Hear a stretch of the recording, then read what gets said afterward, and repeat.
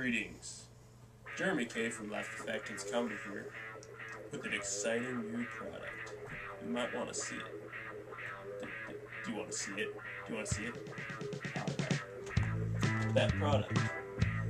Laugh at the Fat Kids brand really, really cheap ass whiskey. It'll make you shit blood. So next time you have a party, say to yourself, I'm thinking Fat Kids.